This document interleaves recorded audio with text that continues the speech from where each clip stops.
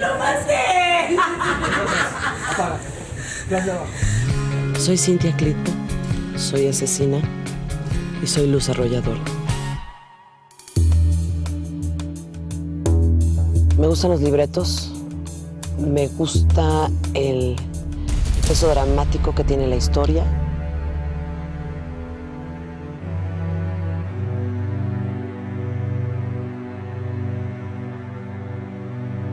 Porque todas las primeras actrices están dentro de Mujeres Asesinas y porque era algo que ya tenía que pasar. Gracias, Pedro.